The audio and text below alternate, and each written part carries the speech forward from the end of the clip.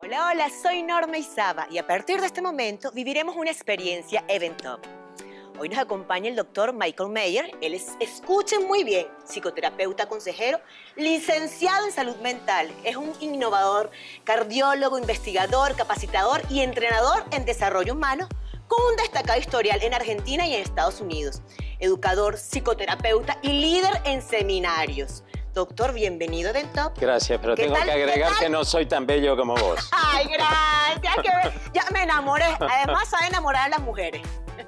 Quiero que hablemos Bueno. un poquito, creo que comencemos por lo que nos atañe en este momento. ¿Los problemas en pareja tienen solución? Por muy pequeños o grandes que sean. Todos. Todos Toda la vida tiene solución, menos todo la tiene- muerte. pero por supuesto, todo tiene solución. Y en la pareja, tal vez sea un poco más intrincado la solución porque se trata de dos personas, pero todo es una cuestión de decisión.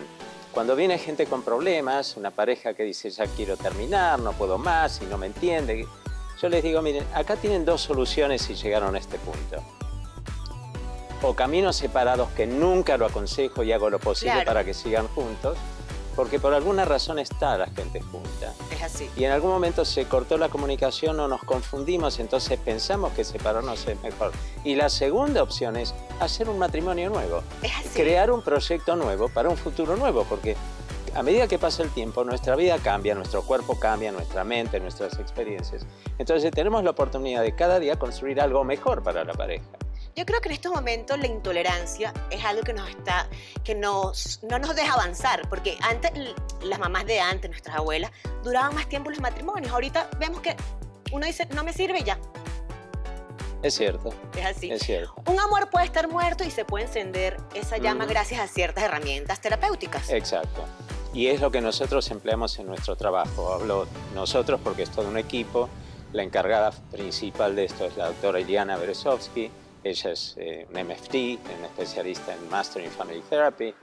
Pero lo que hacemos, y yo tengo más de 5.000 parejas que han trabajado conmigo en talleres, es ejercicios especiales para darnos cuenta qué es lo que necesita cada uno, qué es lo que necesita la otra persona Claro. y poder juntos trabajar y colaborar con nuestro alma gemela, con nuestro compañero o compañera y ahí crear algo nuevo.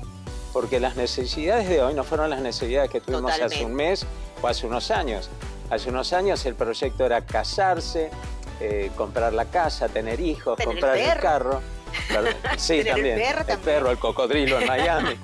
Pero eh, la vida cambió, todo evolucionamos, ya somos profesionales o tenemos estabilidad en nuestro trabajo, ya compramos la casa, o por lo menos estamos con el mortgage todavía, pero ya tenemos el perro, como tú dices, tenemos los hijos, ya están crecidos los hijos y de repente tanta energía que pusimos en los hijos o en desarrollarnos, resulta que no necesitamos más, tenemos que ponerlo en la pareja y no sabemos cómo. El tiempo es una guillotina definitivamente para cualquier relación en pareja. ¿Qué nos aconseja usted? Bueno, pero es la misma opción. ¿no? Tomo el tiempo como un desastre en mi vida o lo pongo a mi favor. Es como el viento. Me puede despeinar, no a mí, no es el caso.